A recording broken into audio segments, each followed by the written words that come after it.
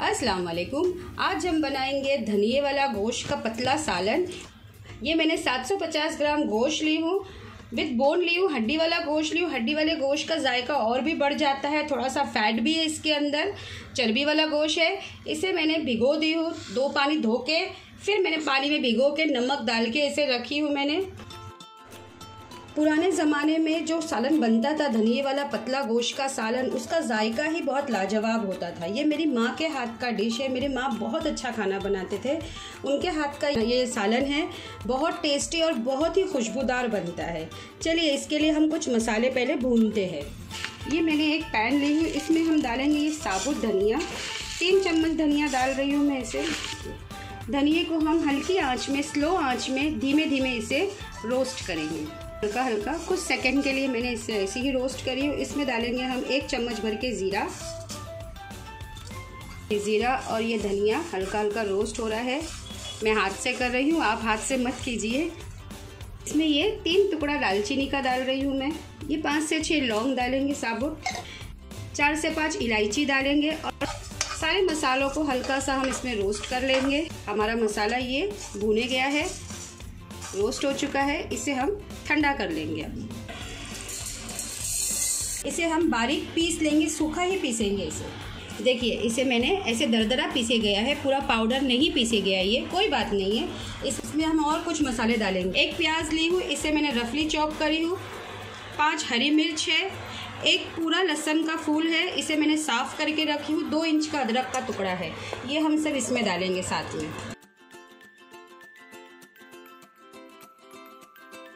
मैं हरा धनिया डाल रही हूँ, एक मुट्ठी। ये डंठल के साथ डाल रही हूँ। ये बहुत पतली और कौली डंडिया है। ये भी हम ले लेंगे। थिकनिंग का काम करेगा ये।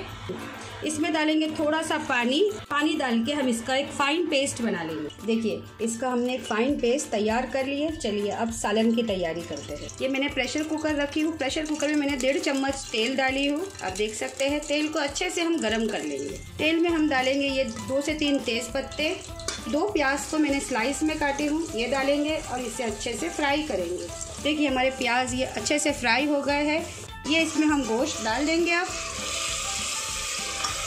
गोश्त को अच्छे से हम प्याज के साथ भूनेंगे। इसमें अभी ना नमक डालेंगे, ना कोई मसाला डालेंगे, इसे तब तक भूनेंगे जब तक हमारे गोश्त का कलर चेंज हो जाता है। देखिए, मटन का कलर चेंज हो गया है। इसमें डालेंगे नमक। इसे फिर अच्छे से मिक्स करेंगे हम।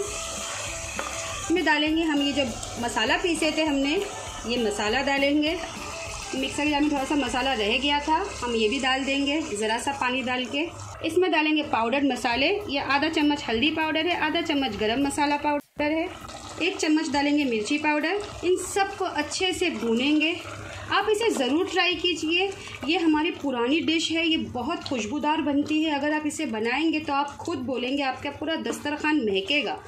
इतनी खुशबू आती है ये पकवान की। ना इसमें दही जाएगा, ना इसमें टमाटर जाएगा। इसका अपना ही एक अलग स्वाद और टेस्ट होता है।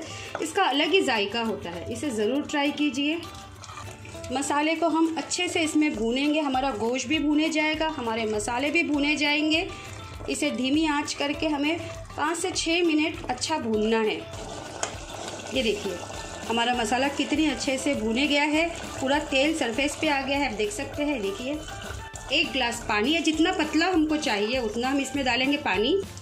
इसे अच्छे से मिक्स करेंगे, इसका लिड बंद कर देंगे।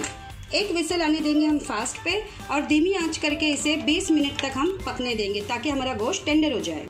देखिए, इसे मैंने अपने ही विसल पे इसे ये कर ली हूँ। देखिए, कितना तरीदार बना है, देखिए।